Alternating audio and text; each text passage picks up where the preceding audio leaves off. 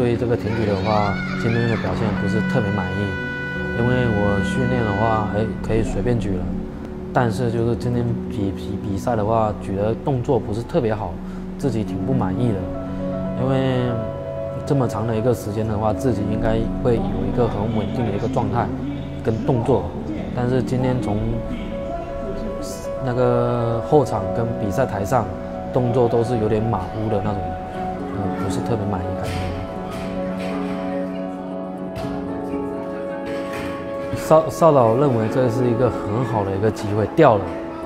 那没后路可退了。他跟我说没后路可退了，你必须就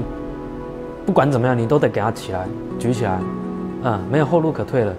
因为你没举起来的话，就完完成不了任务。那绝境嘛，绝境的话，什么都不用想了，就是拼，就是要给他搞起来，很简单啊。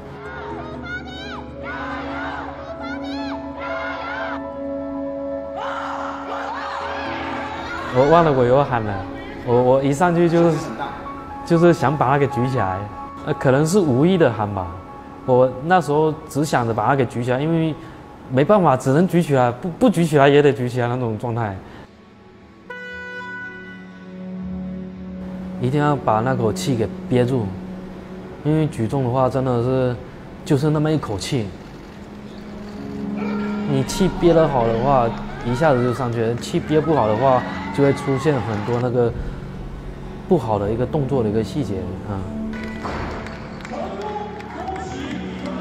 现在回想完的话，举举起来了，自己就那一口气就卸掉啊，终于完成任务了，这样。我觉得这种这种状态的话是非常好的，然后自己通过这次比赛的话，也会把这一个点给总结出来。哎，在逆境中你怎么去完成这个场上的一个重量？怎么给把它给举起来？然后对手很强的情况下，你要怎么去把它拼下来？